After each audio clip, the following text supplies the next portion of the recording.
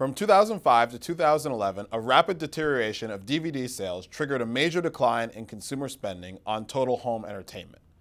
The market has since stabilized as a new era of digital distribution has boosted the performance of many rated independent film studios like Lionsgate, MGM, DreamWorks, and to a lesser extent, studios that are parts of diversified media companies such as Viacom, Time Warner, 21st Century Fox, and Disney. Services like Hulu, Netflix, Redbox, and Ultraviolet continue to gain significant traction with consumers.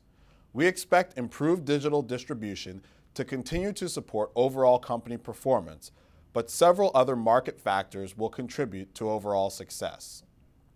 Home entertainment trends and film studios' windowing strategies also have long-term implications for the industry and the movie exhibitors we rate. Exhibitors are exposed to the risk that people will watch more films in the home rather than going to theaters. Film studios continue ongoing experimentation with film studio release windows and how to maximize revenues in each period of availability.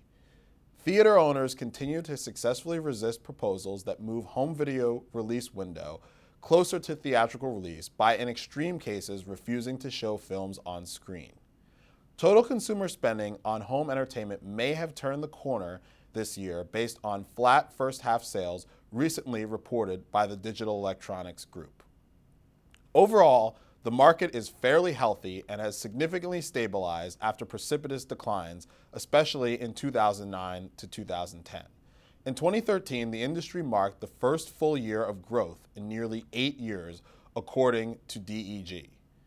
If you are interested in the current state of the home entertainment market, what increased retailer adoption could mean for Ultraviolet, if recent home entertainment trends could spark industry consolidation, or any potential credit rating impact of improved home video trends, please see our recently published article on Standard & Poor's Global Credit Portal, where we delve into these issues and other topics in greater detail.